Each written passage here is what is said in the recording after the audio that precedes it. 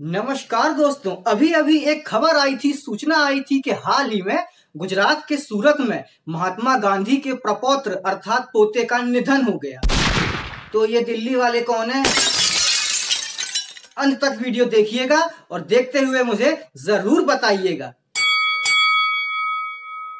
नमस्कार दोस्तों, मैं नितिन आपका स्वागत करता हूँ। दोस्तों, यहाँ पर आपको खबर मिल ही गई होगी कि देश को कोरोना संकट से बचाने के लिए और देश की स्थिति को सुधारने के लिए भारत के प्रधानमंत्री नरेंद्र मोदी जी ने 20 लाख करोड़ के बजट की सूचना दी है। 20 लाख करोड़ का बजट बनाया है और 20 लाख करोड़ से अब भारत को संवारा जाएगा और इस कोरोना संकट से भारत को उभारा जाएगा।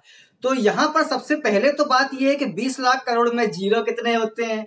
तो ज़ीरो तो उतना ही होते हैं, दो, और दो के बाद बाकी के, राहुल गांधी। खैर छोड़िए, यहाँ पर मैं आपको एक और सूचना दे दू। सूचना ये है कि यहाँ पर सोशल मीडिया में एक क्वेश्चन पूछा जा रहा है। क्वेश्चन ये है कि महात्मा गांधी ने भी स्वदेशी अपनाव का आह्वान किया था। महात्मा गांधी ने भी 1905 में, आज से 114 15 साल पहले 1905 में स्वदेशी मूवमेंट का जो है आयोजन किया था और जो कि कोलकाता से हुआ था। उसके बाद अब नरेंद्र मोदी जी 114 साल बाद फिर से स्वदेशी अपनाव का नारा दे रहे हैं। तो भाई साहब, लोग ये पूछ रहे हैं कि गांधी जी के स्वदेशी और मोदी जी के स्वदेशी में अंतर क्या है?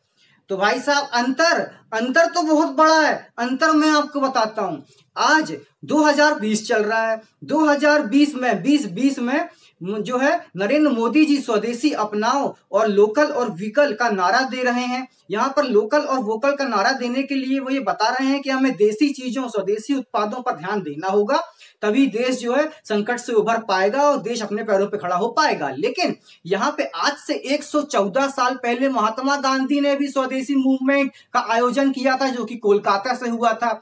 कोलकाता के एक हॉल से हुआ था। अब कोलकाता की स्थिति यह है कि वहाँ पे उत्पात हो रहा है, उपद्रव हो रहा है। ममता ने जो है बंगाल को एकदम धराशाही कर दिया है। अब वो कोलकाता तो कोलकाता रहा नहीं, वह बंगाल तो बंगाल रहा नहीं। लेकिन यहाँ पे महात्मा गांधी ने स्वदेशी अपनाव का जो है मूवमेंट चलाया था उसके बाद उन्नीस में देश आज़ाद हुआ, फिर कांग्रेस की गवर्नमेंट बनी, वही कांग्रेस की गवर्नमेंट जो अपने आप को महात्मा गांधी का जो है, क्या मानती है, वंशज, जो अपने आप को महात्मा गांधी के आगे के कामों को चलाने वाला मानती है महात्मा गांधी के सरनेम को खाती है। लेकिन वही कांग्रेस पैंसठ सत्तर साल देश में राज करती है। उसी कांग्रेस के लोग देश में पैंसठ सत्तर साल प्रधानमंत्री होते हैं, मुख्यमंत्री होते हैं, वही कानून बनाते हैं। उसके बाद ऐसा क्या हुआ कि महात्मा गांधी के 1905 वाले 1905 में शुरू हुए स्वदेशी अपनाव के मूवमेंट के बाद 1900 पूरा हो गया। 1900 तो खत्म हो गया 2000 आ गया। 2020 में मोदी जी को आके कहना पड़ा, स्वदेशी अपनाओ। भाई साहब, ये जो बीच का टाइम था, इसमें कांग्रेस ने क्या किया? इसमें कांग्रेस ने ऐसा क्या किया जो फिर से मोदी जी को एक गैर कांग्रेसी गवर्नमेंट को यह बोलना पड़ा कि स्वदेशी अपनाओ? गांधी जी की बात फिर से रिपीट करनी पड़ी। ऐसा क्यों क्यों क्यों? नेशन वांट्स टू नो जनता पूछ रही है, जनता पूछती है। हालाँकि यहाँ पर आपको अब जो है पूछना होगा, मुझसे नहीं, आपको पूछना होगा इन फर्जी गांधियों से। फर्जी गांधी से याद आया अभी अभी एक खबर आई थी कि सूरत में गांधी जी के पपौत्र, अर्थात गांधी जी बोलने के पहले बता दिया करो कि असली वाले या नकली वाले, असली वाले। महात्मा गांधी अर्थात मोहनदास करमचंद गांधी के प्रपौत्र, उनके वंशज, उनके पोते का निधन हो गया। भाई साहब, कोई अगर ये बोल देना गांधी जी के पोते का निधन हो गया, भाई राहुल गांधी की चिंता हो जाती है।